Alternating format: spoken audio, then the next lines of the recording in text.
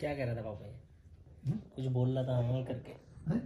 बच्चा कुछ कह रहा था ए करके। हाँ। आप आपसे बातें कर रहा था। हाँ। आप भी कुछ कह रहे थे? तो हम तो ऐसे ही होता बच्चों से दूर से बात करते हैं। बच्चों से दूर से बात